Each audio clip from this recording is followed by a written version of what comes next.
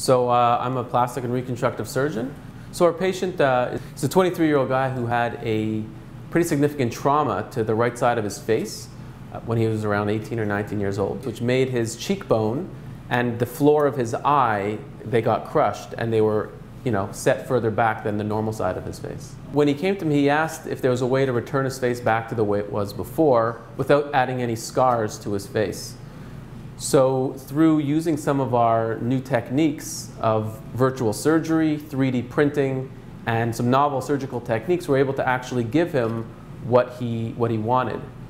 With that, we printed out a skull, a 3D modeled skull, which I have here, and the difference, a model of what's different between the left side and the right side. So when I add this model to his skull, it actually recreates a mirror of his good side of his face. So this bone is what's missing on his bad side of his face.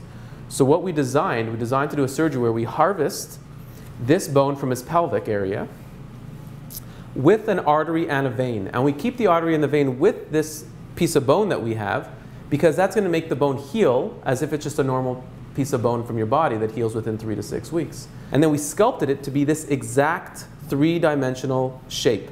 And we were able to, to mold the bone onto the skull. Now, the trick was not to add any scars. So we did this through an incision within the mouth.